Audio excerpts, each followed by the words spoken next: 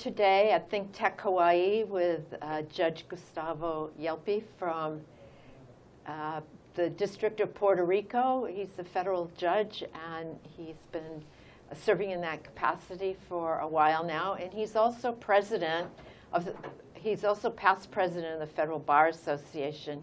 He was the first federal judge to become president of the Federal Bar Association and during his term, he led the federal bar to be much more active. In addition, I just want everyone to know that he was confirmed in his appointment by the President George W. Bush unanimously by the U.S. Senate. Uh, so that's quite a, an accomplishment and can give you an idea of what an exceptional person he is. So welcome, Judge Thank you. Gelpi. Uh, so pleasure happy, to be here. Happy to have you here. and. Uh, Judge Gelpi and I know each other through my late husband, Professor Jon Van Dyke, and both of them are very interested in the law governing the territories of the United States of America. Now, Hawaii, of course, is no longer a territory, it's a state, but Puerto Rico is still a territory.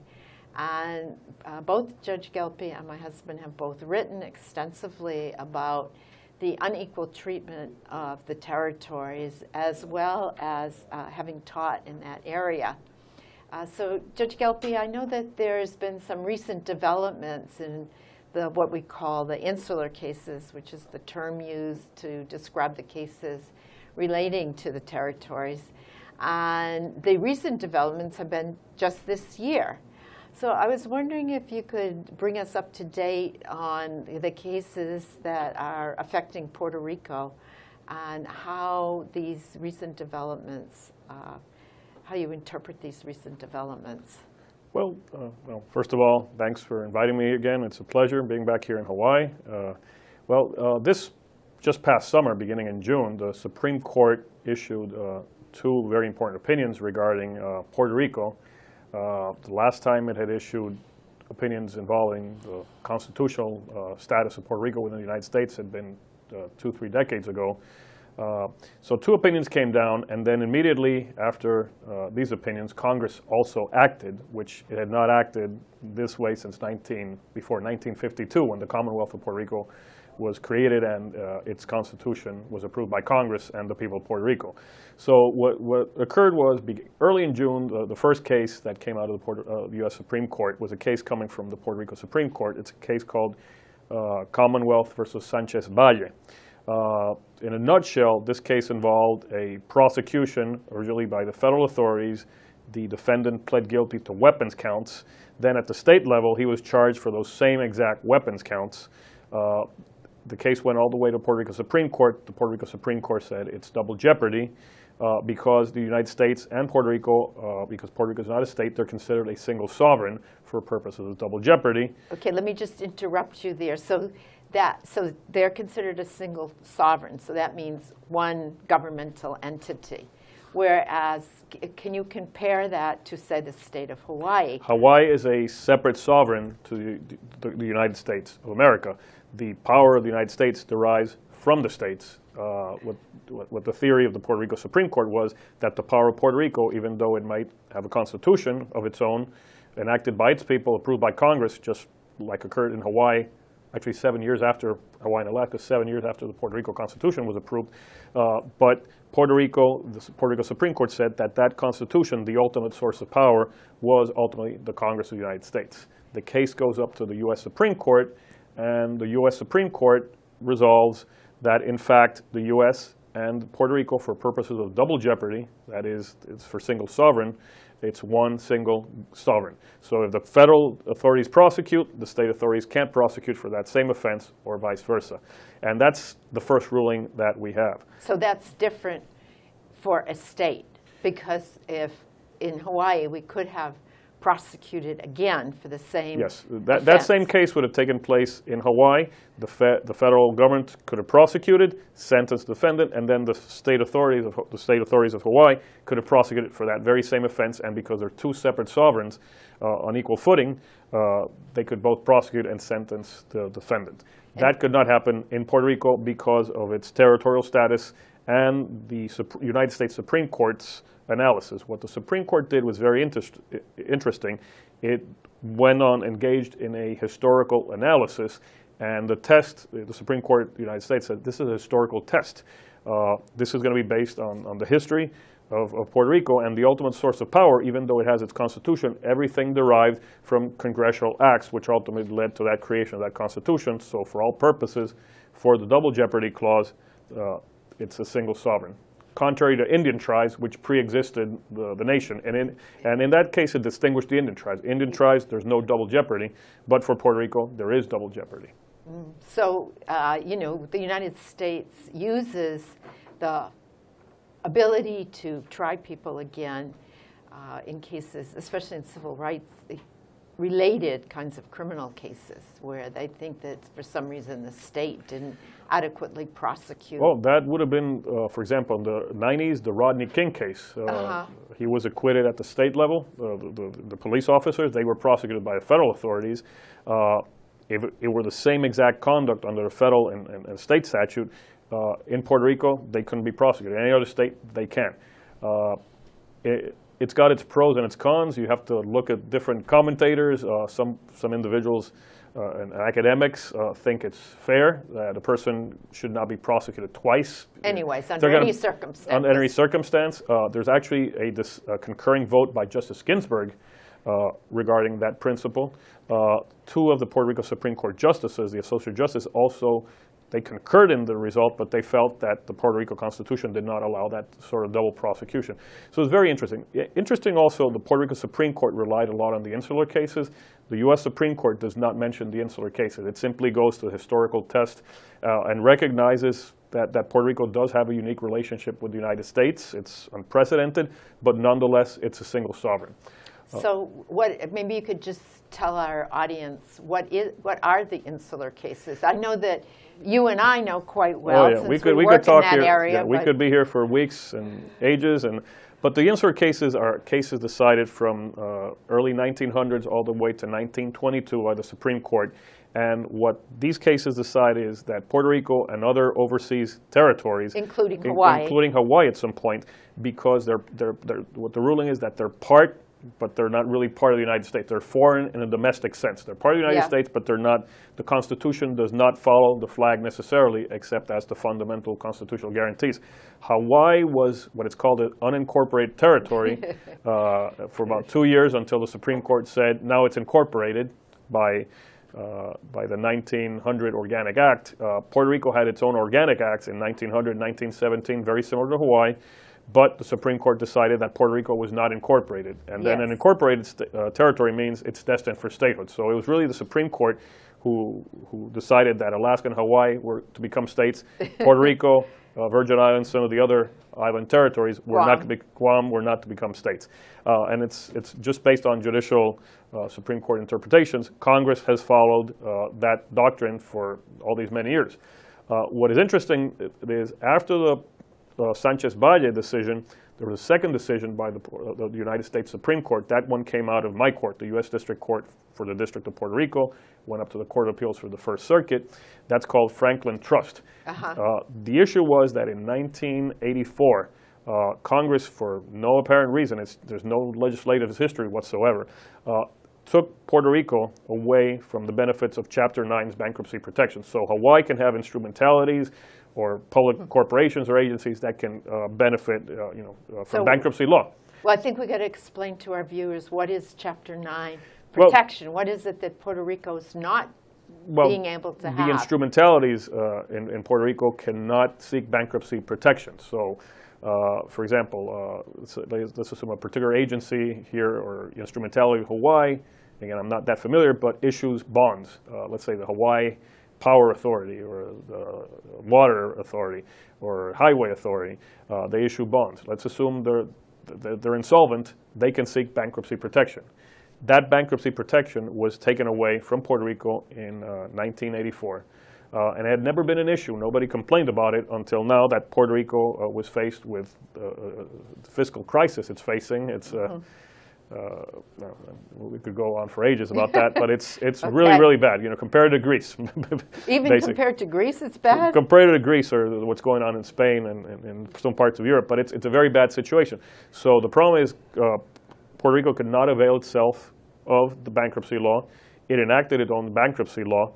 The case goes to the federal courts. The federal court says under the supremacy clause, only Congress can enact bank- bankruptcy laws, uh, and they So have is to be that your court that ruled that That's way? a colleague of mine, uh, and Oh, he was affirmed uh, Uh-huh. by the Supreme Court, so I guess he was right, and he knows he was right when he watches this. So uh, that was Judge Besosa. Yeah. Uh, and then uh, Puerto Rico enacted its own bankruptcy law, but it was held unconstitutional. Uh, when the Supreme Court holds uh, that, uh, affirms that ruling, uh, what Congress then does, based on the aftermath of Sanchez Valle, the Franklin Trust case, and this is within weeks, Congress enacts what is known as the Promesa statute. That's acronym for promise. Uh, it's a it, it it's an oversight act. It creates a fiscal board, and what Congress does, uh, relying on on, on, on, um, on Sanchez Valle and on, on the bankruptcy decision, it says that Puerto Rico it's, it's legislating under the territorial clause uh, and creating this oversight board. It creates the equivalent of, of a bankruptcy law under the territorial clause for a territory, uh, but it's not Chapter 9, so it's not extending Chapter 9. I think Congress, the, well, the reason it doesn't uh, invoke Chapter 9 is, or, or extend it then to Puerto Rico is then it says, well, then the states are going to start going into bankruptcy, or, you know, what, what's going to happen? Uh, if, if, you know, so they, they just didn't want to create a precedent that would apply to states, so they create this special bankruptcy law to Puerto Rico and create an oversight board and the oversight board, um, in a nutshell, they have powers under federal law uh, that, for example, if the governor elect, now when he comes into power, has any executive orders or any actions that have anything to do with the, the fiscal status of Puerto Rico, or the legislature adopts a budget, or anything that's fiscal in nature, or could even extend to a Puerto Rico Supreme Court decision that interprets the fiscal status of Puerto Rico, that oversight board has the authority to trump or to, to stay that uh, act by the local government. So, uh, So it- it do people in Puerto Rico view the legislation is something that's going to be helpful to Puerto Rico? And did the legislation come with any financial support for Does Puerto it? Rico? Well, there's no financial support in the legislation. Uh, The governor of Puerto Rico and the congressman, who is now stepping down, uh, both requested the legislation. They felt it was the only way to move Puerto Rico forward. Uh, So is the congressman, your congressman doesn't get a vote, is that correct? He doesn't get a vote. He gets to, the, the congressman in Puerto Rico is elected for four years, uh, and it's one congressman for the work of five congressmen. He doesn't have a right to vote. He's got a voice, but doesn't get to vote. Uh, and it's very similar to the congressman that Hawaii had before Hawaii became a state. So it's Yeah. that exact, exact relationship. But Uh, why does Puerto Rico then have a full court? You have an Article Three court in Puerto Rico, which is equivalent to the same kind of federal court that we have here in Hawaii, but you don't have a congressperson who can vote. So why is there that distinction? Well, that's, that's a very good question. Uh, the, the federal court, Congress created an Article 3 court pursuant to its uh, power under Article 3 of the Constitution to create federal, inf- inferior federal courts to the Supreme Court. Uh, it's the first time, the only other federal court, every time a, a, a, a, a territory became a state, in the Admission Act, there the Congress would create a federal court. For example, in Hawaii, when Hawaii becomes a state in 59, you get a, an Article 3 federal court. And Article 3, for those who don't know, it means that the judges have life tenure. Uh, they cannot be removed except impeached uh, for, for, for just cause. Uh, but what's interesting in Puerto Rico, Puerto Rico has always had a territorial court. Uh, Hawaii and Alaska got their federal courts, and sometime in 1966, the Congress, based on recommendations of the Judicial Conference of the United States and the United States Department of Justice, recommended to the Congress that Puerto Rico get a court just like any state. And the legislative history says, well, Puerto Rico is just like any other state. It's not a state admitted to the Union, but it's got its three branches of government.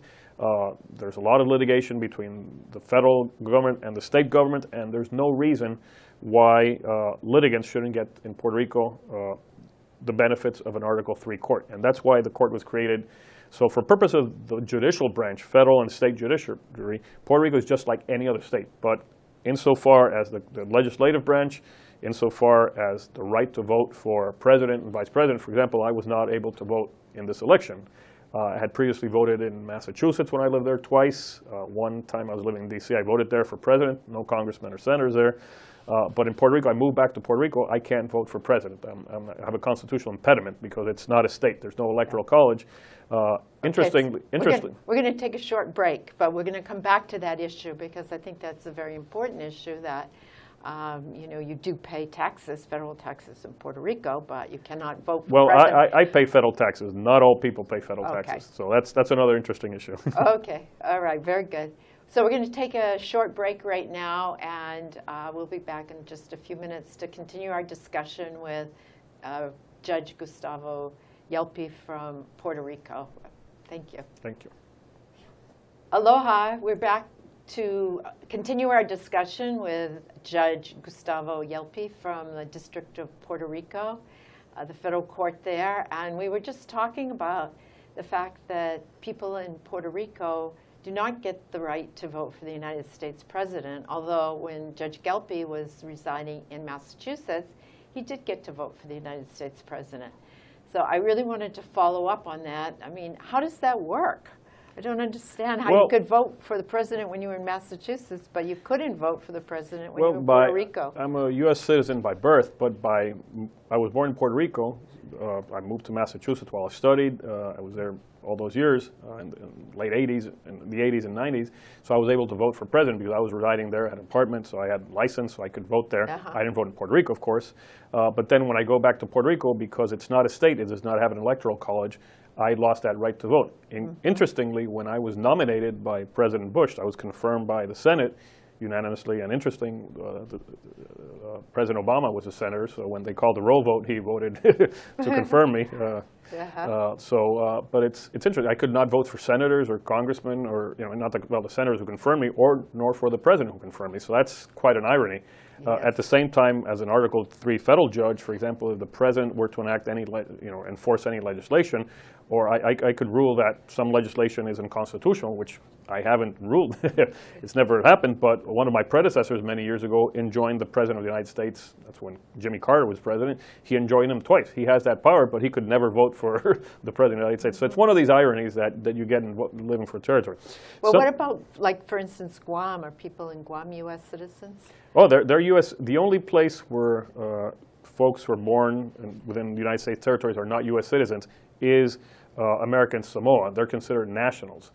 They're not citizens. They owe allegiance to the United States, but they they don't have the cloak of citizenship, and that's kind of one one of these interesting um, judge-made rules from the Supreme Court early part of the century. Puerto Rican residents before Congress in 1917 granted citizenship to people in Puerto Rico were also U.S. nationals. They, I see. they, they, they're not citizens of any other nation, but they're not citizens of the United States. They're nationals. So it's one of the. Yeah. Something you had mentioned was interesting. Uh, whether in Puerto Rico uh, individuals pay personal uh, federal income tax, uh, you do pay, of course, Medicare, uh, Social Security tax, just like any citizen of any state. Import and export taxes are paid federally. Uh, if I have federal income, I, as a federal judge, I have to pay federal income tax. Or anybody who has a contract with the United States government or federal agency, or you know, uh, commodity taxes and anything. Interesting, Puerto Rico, this maybe four or five years ago, but the statistic I had generated more federal revenue from taxes, even though most people, because of the poverty level also, and they don't have federal income, they don't pay federal taxes. Uh, Puerto Rico made more, uh, I think, more than one state and almost as much as two other states. So it still generates money for the U.S. Treasury. Well, I noticed another thing that you've mentioned before, too, is that you have a very high percentage of your population that enlists in the United States military.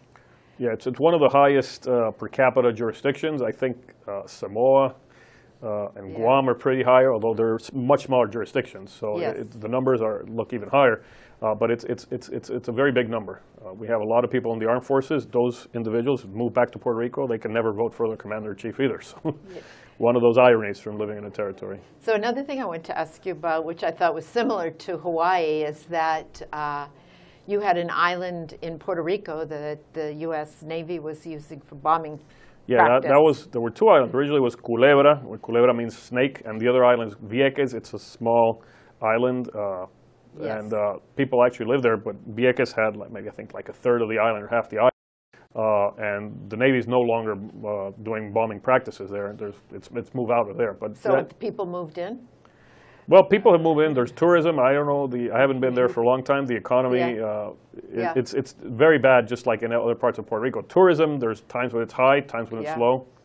But in terms of the, uh, the place where they were actually doing bombing practice, is that livable? Because here, we have Kahoolawe that they use for bombing practice, but we're not, nobody's able to I'm not the super environmental expert. Uh, I've seen parts of the Navy base uh, have been Yeah. turned back to the government of Puerto Rico. Uh, you know, again, I'm, I'm not an expert on environmental matters, but I think the bombing there took so long. Uh, there, I don't think there's been a mega cleanup there. uh, uh, But Uh-huh. again, don't take my word for granted. But I, I, I don't think there's there's been perhaps some monies given to the Commonwealth uh, for, for you know Yeah, but, but I, I don't know what's the situation there exactly. And there haven't been many issues after the Navy left out. Uh, okay, at least no lawsuits for cleanup so far. so far. So I wanted to uh, talk a little bit about the Federal Bar Association as well, because I was president, as you know, of the Hawaii chapter here of the Federal Bar Association, and you were president uh, of Na- the I, was na- national. I was national president, and before that, in 2000, I was president of the Puerto Rico chapter. Okay, so maybe you could just tell us, you know, kinds of some of the things that you were doing while you were president, and uh, you know, maybe you could tell us a little bit about the Federal Lawyer magazine, which I know you've written for before. and I want to make sure that we save a little bit of time to talk about Panama as well. Oh, okay. Okay. Well, the, uh, the Federal Bar Association is a national association. Uh, its members are, in large majority, federal practitioners and federal judges. Uh, the purpose of the association is to promote the rule of law, strengthen uh, federal uh, relationships between the bar and bench, and to promote academic discussion of issues uh, that are going on uh, at the national level, which impact the federal practitioner and the federal courts. For example, uh, the year before I was president, the, there was a sequestration issue, and the federal bar uh, lobbied, and, and obviously the judges who were there, we, we can't lobby, we're ethically precluded, but Yes. the other members of the Bar Association and the board, and it's got uh, its representatives, uh, go before the, the Congress and, and explain how this was affecting the courts, that the courts needed to be open uh, to carry out uh, justice, you know, be- and, and there's civil criminal cases moving on. Uh, other things, like for example, when I was president, uh, in that was three years ago, was the 50th anniversary of the Civil Rights Act and, and, and, the Criminal Justice Act, which is the law that guarantees that everybody charged in federal court who cannot afford an attorney will get an attorney of quality uh, to represent him. Uh, and creates a federal public defender's office. So I, I went on sort of like a national uh, tour, and I went to you know, different locations, and we would speak about the importance of, of, of the Criminal Justice Act, the Civil Rights Act, uh, and so forth. Uh, I've also lectured through the federal bar in different chapters. I've been here in Hawaii, Alaska, in Massachusetts, Chicago, I think Orlando, in Puerto Rico. Talked about the, the, the situation about the, the territories of the United States. And the federal bar promotes that sort of discussion, which is more academic uh, in, in, purp- in, in- in purpose. Uh, right now, the pre- current president is uh, Magistrate Judge Michael Newman from the United States District Court in the Southern District of Ohio, uh, and his uh, idea for this year is to promote civics throughout. You know, so he's here in Hawaii. Actually, the Federal Bar Association Hawaii Chapter Conference will take place tomorrow, uh, and we're both going to be in a panel.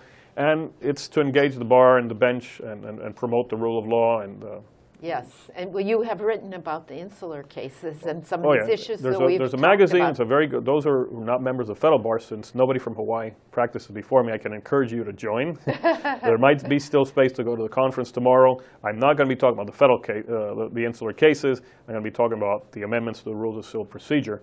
Uh, but it's it's uh, it's got a magazine called the Federal Lawyer. Uh, it, it's always open for, for attorneys or judges to send uh, articles. It's not law review articles. They're not like 100, 200 pages long. They're usually four or five page articles. Uh, one of the, art, the big issues we had when I was president, along with Mike, Michael Newman, Judge Newman, was to uh, have a special issue dedicated to the role of magistrate judges and the importance of magistrate judges. Uh, in, in the federal courts. Magistrate judges are judges, they're not appointed for life. Uh, they're appointed by the court for a term of years, but they work very hard for the court, and uh, without them, we could not do our business. so they, they, they, they really help us, and that was very important for me to get that message out, and that's the sort of thing the federal bar does. Uh, Yeah, so let's just uh, take the last few minutes we have to return to those absolutely fascinating insular cases and the differential treatment of the territories. And I know that you re- recently wrote an article about uh, the Panama Canal and how, how the United States treated the Panama Canal zone as, as part of its territories and, and the differing uh, treatment there. So I, I was Well, wondering if you could give us just a, Yeah. a Well- brief, brief review of what happened. Yeah, well, it was very, very interesting because, uh, and I became very interested. I happened to go to Panama over the summer for a basketball tournament, uh, which was about for 10 days. And in that time, I knew there had been a federal court there, so I was able to have the embassy folks take me down there. I took some photographs. Uh, uh, and I researched, I got some, read a lot of history, and it was very interesting because the canal zone from 1904 to 1979, when the treaty was signed to give it back, uh, was a U.S. territory in the middle of Panama. It's just imagine having, you know, the middle of Hawaii become a federal territory, and and Hawaii being a kingdom, and all of a sudden, you know, just imagine that the, the center of Hawaii was a federal territory, and, and Hawaii still a nation, independent nation. And that's what happened in, in Panama. There was a military base. Obviously, the United States under President Roosevelt constructed the canal. The interest, the interest of President Roosevelt was to connect the Atlantic and the Pacific because obviously its fleet could go through there. You, you, the United States could have naval supremacy. Uh, and that was one of the, the, the, the, the important issues. Like whoever had control of that canal would have control of, Yeah. of you know, of the globe. Uh, so it was very interesting, and the United States had that territory for close to 60, 70 years. Uh, also, uh, the United States has a former territory was the Philippines, and those are the two territories which the United States eventually the Philippines became an independent nation, and the canal zone was returned to the, the nation of Panama, the Republic of Panama. Uh, but aside from that, all the other territories, what I saw done in the article I wrote, that was one of my last articles, was to contrast all the other territories, the ties between the territories and the United States government have strengthened. In those, uh, in, in, you know, for example, in, in the Canal Zone, the people born there, some were citizens, like President, uh, well, Senator McCain. Yes, become- of course. He didn't become Uh-huh. president, but that was one of the issues when he was president. But th- there was issues regarding citizenship, and you have to be a citizen, a, a, a child of at least one American parent to be a citizen. Uh, and the rules, you know, the, the, the rules that in every state apply. When we're born, we're citizens, or what constitutional rights apply or not in, in the territories, they're very different. And it gives the, the Congress flexibility, you know, in, in the case of, of, of, of, of the Philippines, to basically de-annex the Philippines and let them become an independent country. In the case of Panama, return it to another nation. And I guess in the case of Puerto Rico, Virgin Islands, Guam, Marian Islands, there's a more permanent relationship uh, moving on forward. Uh, and, and again, none of these, in Panama, there was a big movement to return Panama also to the nation. Uh, Philippines also, they really didn't want to become part of the United States. In the other island territories, uh, in Puerto Rico, we have statehood and a Commonwealth Party. They're the majority parties, but if you put them together, it's basically a, a very large number of, you know, 80, 90 percent, you know, close to 90 percent of the folks who want a, some sort of permanent relationship with the United States, regardless of how the situation is. So, as to these territories, the Congress continues to, to legislate, work with them. Uh, we've seen Promesa. The, the, the- you know, we'll see what happens. Uh, I, I assume at some point, uh, it's only been in force for the last two months, I believe. The, the oversight board has already started acting. Uh, there may be cases before the federal court, before the U.S. Supreme Court, and again, maybe next year, the following year, I can come and give a synopsis of those. So, who knows? I might end up uh, having one of those before me, and then it will go up on appeal. So do you have an independence movement in Puerto Rico? There is a there is an independence movement. I- It's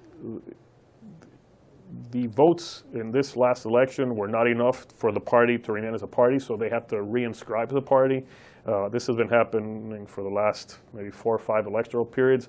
Uh, so uh, they they did get a seat in the Senate and a seat in the local House, but as a party, they d- did not garnish enough votes. Uh, and interesting, this year we never had that before. There were like two independent candidates, and one got you know uh, you know I think I, don't have the exact numbers, but one got I think it was about 160, 170,000 votes, and it took a lot out of the statehood and the Commonwealth Party.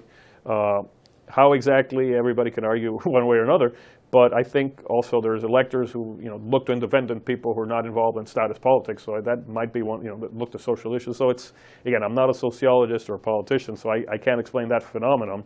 But it was very interesting in this election because I you know I, I don't think anybody figured except for her that she was going to get so many votes, and and she basically like uh, President-elect Trump was using social media f- to, to get out to the younger people, to a lot of people. So uh, it's going to be interesting, both in the mainland and, uh, and, and even in Puerto Rico, and I think in the other states, how elections from now on are going to be carried. So that's part Well- of democracy, I guess.